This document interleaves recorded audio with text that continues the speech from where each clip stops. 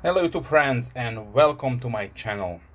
In this video I would like to share with you an unboxing and first look and a little bit of comparison with the CRKT Pilar number 3. Finally I got my hands on one of these and uh, yeah let's start.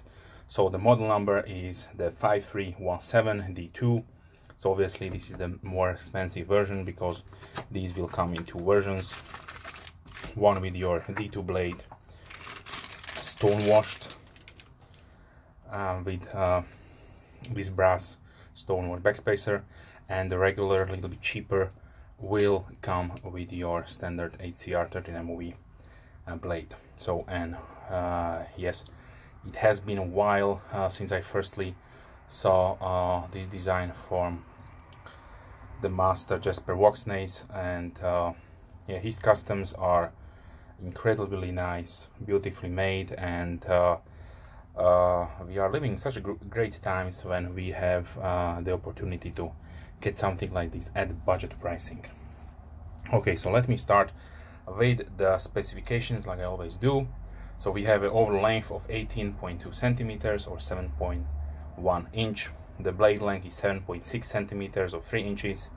The blade width is 2.8 centimeters, 1.1 inch the um, blade thickness is 3.6 millimeters or 0.14 inches. The cutting edge is 7 centimeters or 2.7 inches. Handle length is 10.8 centimeters or 4.2 inches. And the thickness without the pocket clip is 1 centimeter or 0.4 inches. This version, like I mentioned, has a stone washed D2 blade with a beautiful spear point and so finger opening cut out or milled out portion like Strider does. We have a brass uh, stone washed backspacer, partial backspacer. The handle is made out of stainless steel and G10 with a deep carry uh, pocket clip with medium attention the frame lock on this one features also a oil travel stop. You can see right there where there's uh, this screw here. So another great uh, feature they have incorporated. And uh, we have uh, the pivot assembly uses a KVT ball bearing uh, washer. There there is the logo. And if you didn't know that uh, Pilar the name of the knife comes from Ernest Hemingway's boat we have a really large lanyard hole at the back portion of the knife.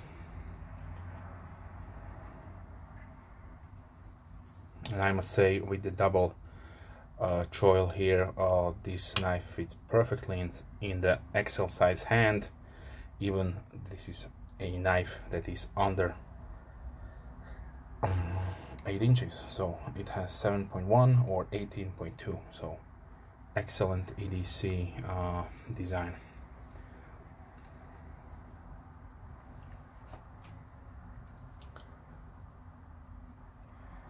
Okay, so the weight comes at 107.8 grams or 3.8 ounces. So now I mentioned this is the number three.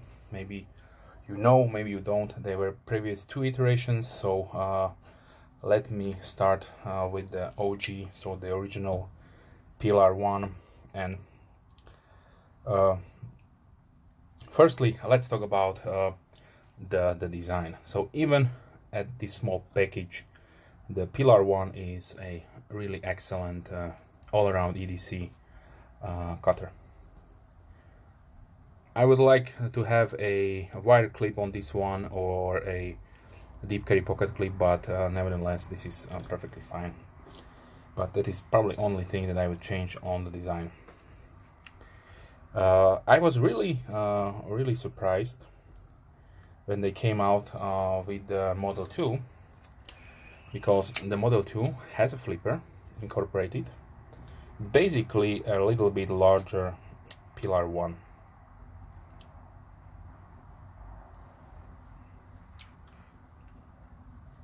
okay so a little bit larger and it has uh, a flipper.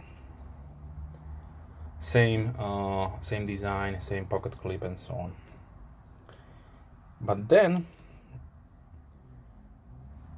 then there is the number three. So the number three has a probably uh, I would say a huge departure from the blade design because as you can see there you have a spear point uh, and uh, previous two were, uh, were sheep's foot design.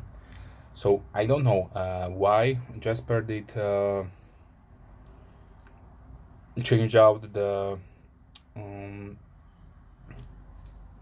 the blade profile. Probably it has something to do uh, with uh, his custom. I don't remember what is the name of the custom, but he has a similar design to this one uh, with his custom knife so he's a custom knife maker of course.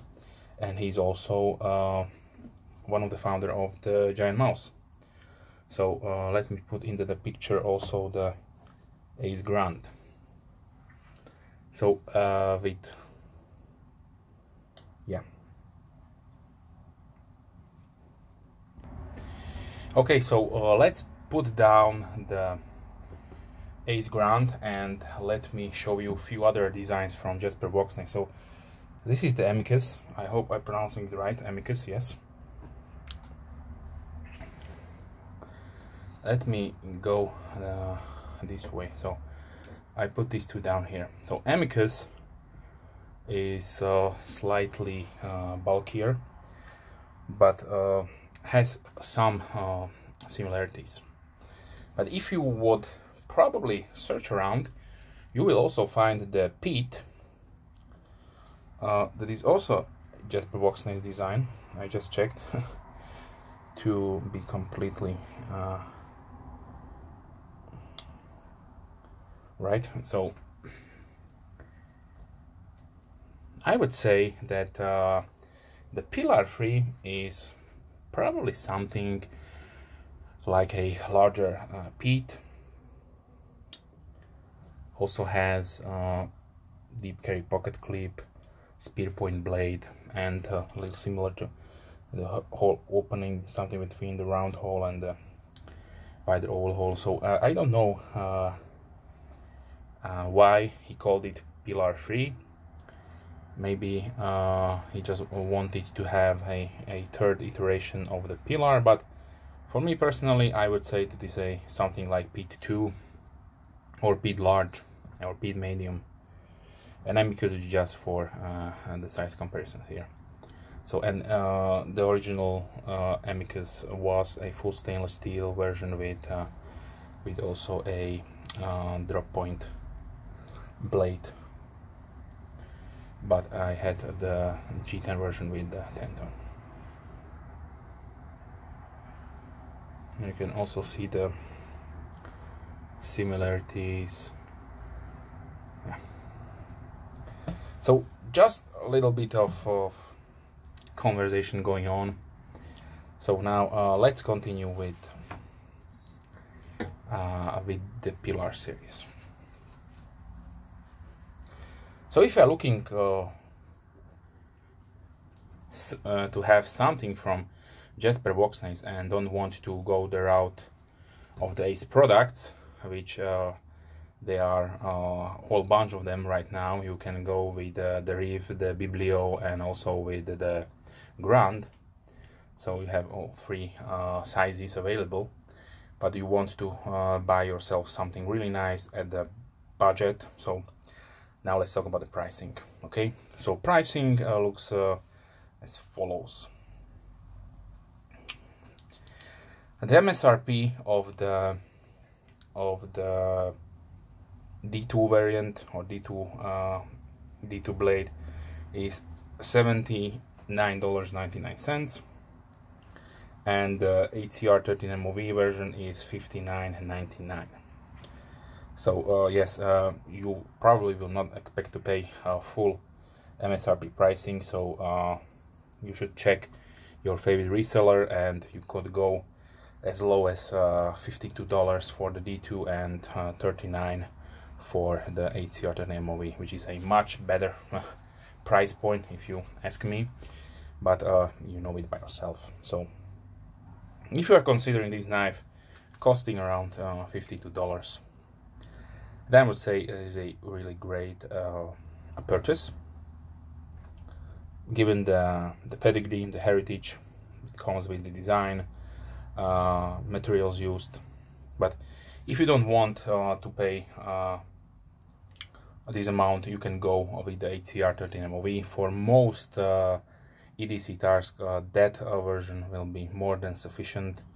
Yes, you will have to maybe sharpen it a little bit often than the D2, but then of course it is up to you uh, which finish you prefer. I got uh, the D2 mostly because I really uh, like to have a stone wash on my blades. It is just a superior blade finish for the EDC tasks because it will not smudge that often and of course it will be much uh, have a much higher corrosion resistance than your satin or uh, bead blasted finishes that are some on some blades. so action this one is great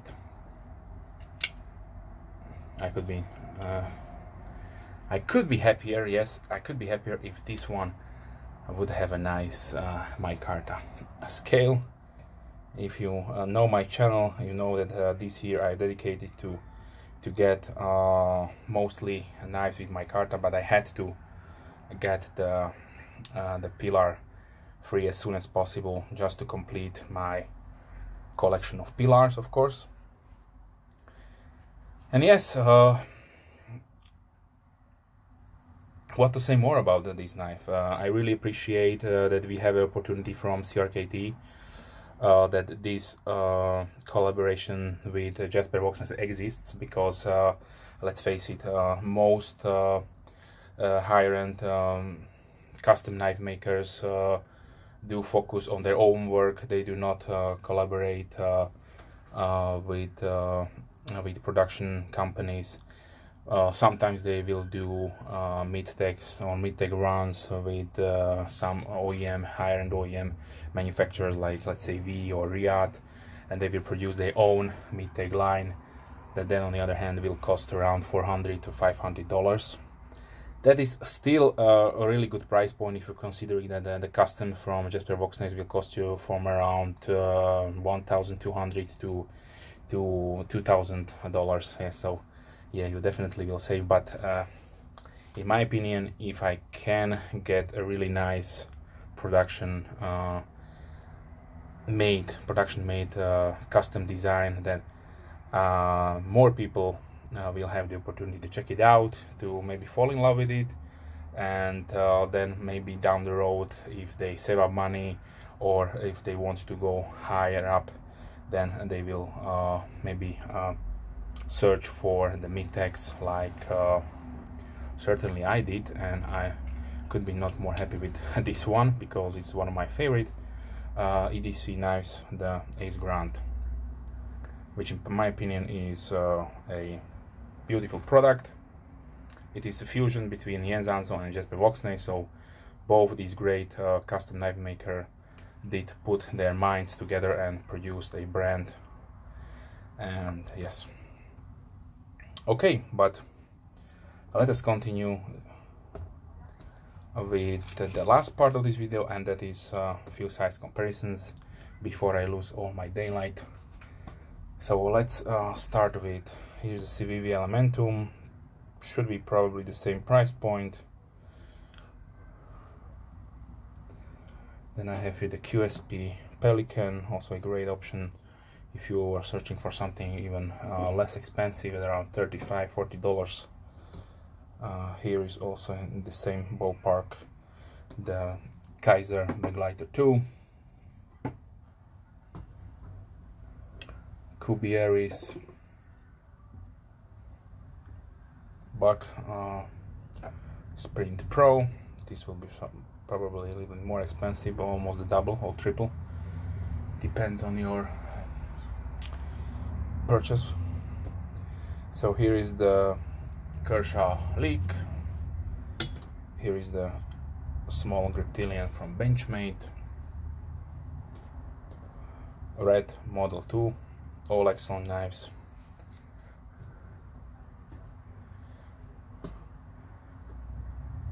Spyderco Delica.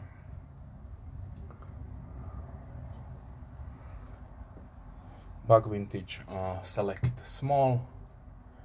Here's the full size uh, Buck Select Avid.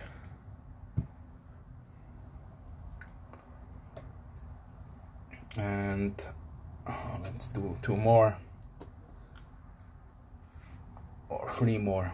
Here is the Kershaw Shuffle 2. Kizer pinch and let's close it down with a really nice underrated knife that is the Ka-Bar Dozier Folding Hunter.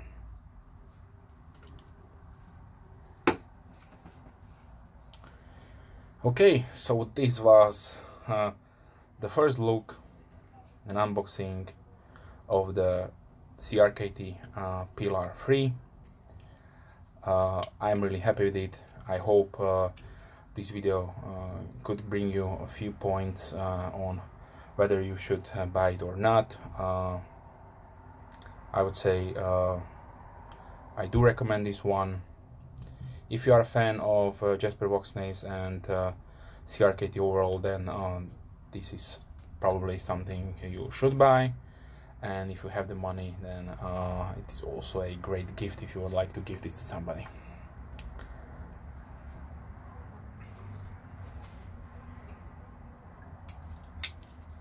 I probably forgot to show you the pocket profile. Sorry about that.